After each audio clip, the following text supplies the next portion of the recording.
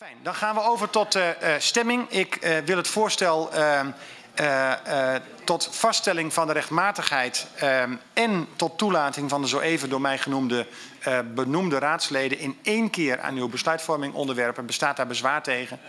Dat is niet het geval. Dan open ik de stemming op dit enkelvoudige voorstel. Ga uw gang. Uitgebracht zijn 14 stemmen. Ah, sorry, 34 stemmen. Gaan we ook hertellen. 34 stemmen en uh, de Raad heeft met algemene stemmen besloten de uitslag van de verkiezingen rechtmatig te verklaren en de zo even genoemde personen toe te laten tot het lidmaatschap van de gemeenteraad van Almelo. Dank u wel, u heeft al dus besloten. Daarmee hebben wij, dames en heren, de agenda voor deze uh, vergadering ook afgewerkt. De laatste vergadering van de Raad in deze samenstelling.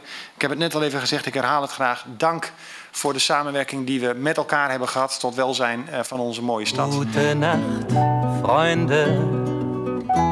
Es wird Zeit für mich zu gehen. Was ich noch zu sagen hätte, dauert eine Zigarette und ein letztes Glas im Stehen. Für den. Ja, hoe het gekomen is, dat is aan de kiezer. Die hebben het laatste woord. Maar het is heel teleurstellend dat we de kiesdrempel niet gehaald hebben. En daardoor is Almelo Centraal helemaal uit de gemeenteraad verdwenen. En dat is uh, ja, heel jammer. De, echt de oorzaak kan ik niet verklaren. Maar ik zie wel dat uh, er veel partijen uh, klein zijn gebleven. Uh, en het, uh, dat het meer, merendeel toch voor de VVD en TDA heeft gestemd. Ja. Landelijk op televisie geweest en toch net niet in de raad gekomen. Nee, het, we hebben het gewoon net niet gered. En dat heb ik ook al vaak gezegd. Het is hartstikke jammer. En natuurlijk heb ik daar verschrikkelijk van gebaald.